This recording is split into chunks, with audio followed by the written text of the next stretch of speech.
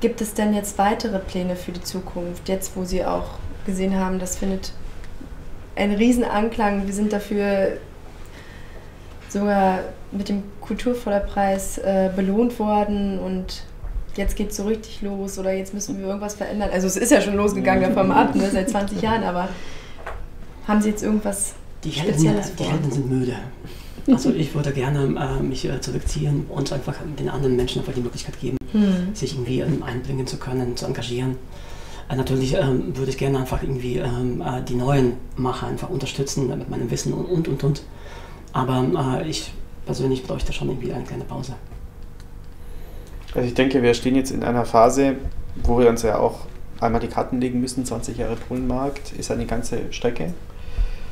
Und ich habe ja vorhin gesagt, es ist schon sinnvoll, dass wir das weiterführen, denn das Erreichte bleibt eben nicht stabil.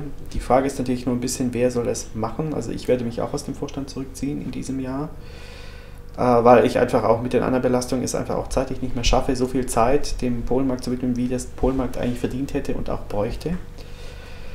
Sodass wir jetzt im Prinzip schon vor einem personellen Neuanfang auch stehen ähm, in diesem Jahr, sodass vielleicht der Bodenmarkt sich auch nochmal neu erfinden muss, vielleicht auch nochmal mal in eine andere Richtung gehen muss äh, und dann auch mit neuen Leuten, mit neuen Köpfen vielleicht auch nochmal ein ganz neues Profil sich erarbeitet. Wir bieten ja im Rahmen des ähm, Polmarks immer auch Studenten an, Studierenden an, Praktika zu absolvieren, um mal selber so ein bisschen in, dieses, in den Bereich Kulturmanagement reinzuschnuppern.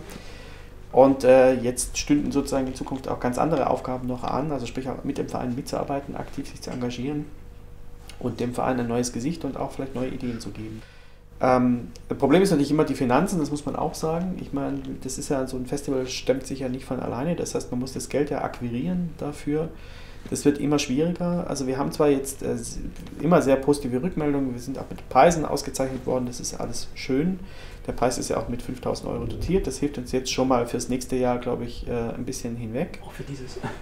ähm, aber ähm, natürlich sind 5000 Euro für ein Kulturfestival nicht viel. Ja. Und wir kriegen das nächste Problem, dass eben viele unserer traditionellen Sponsoren, das sind ja auch wissenschaftliche ähm, äh, Stiftungen, die in ihren Statuten aber stehen haben, dass sie keine Veranstaltung dauerhaft fördern dürfen. Wir sind jetzt bei bestimmten Förderern eigentlich fallen wir aus dem Förderprofil raus, weil wir eben jetzt schon 20 Jahre am Start sind. Das heißt also, die sagen, Leute, wir haben euch jetzt 20 Jahre unterstützt, das ist eigentlich schon die Dauerförderung, das dürfen wir gar nicht. Sodass wir jetzt von einigen ähm, Institutionen, die uns sonst immer unterstützt haben, schon die Rückmeldung bekommen haben, dass sie es in Zukunft nicht mehr machen können.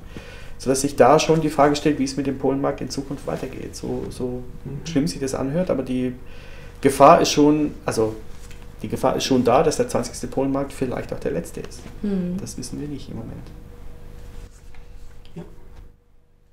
Dann möchte ich noch zu einer letzten Frage kommen. Und zwar, was sollte man oder was sollten unsere Zuschauer dieses Jahr auf gar keinen Fall verpassen? Der Höhepunkt ist ähm, zweifelsohne das Konzert von, äh, von der Band Kroke im Theater. Das ist eine Band, die man vor allem mit äh, Schindlers Liste assoziiert und äh, äh, sie, sind, äh, sie konzentrieren sozusagen auf der ganzen Welt äh, immer ausverkaufte, ausverkaufte Häuser. Das heißt also, so eine Band hier in Greifswald zu haben, ist schon eine große Sache. Wir hatten sie schon beim Polenmarkt 2009. Da war das Theater auch ausverkauft und wir hoffen, dieses Jahr wird es, wird es genauso. Die Kanda Abschlusskonzert, auch 20 Jahre schon dabei. Die, die Kanda feiern auch ein kleines Jubiläum, so wie wir. Weltmusik, ähm, äh, tolle Sache, also nur empfehlenswert. Für mich ist Stefan Queen natürlich der Schriftsteller. Und ich freue mich vor allem auf die Filme. Wir haben dieses Jahr sehr stark auch das Thematik, die Thematik der Grenze wieder in unserem Programm. Wir haben auch wieder wie jedes Jahr im Programm, dass Absolventen ja, aus Krakau ihre Filme vorstellen.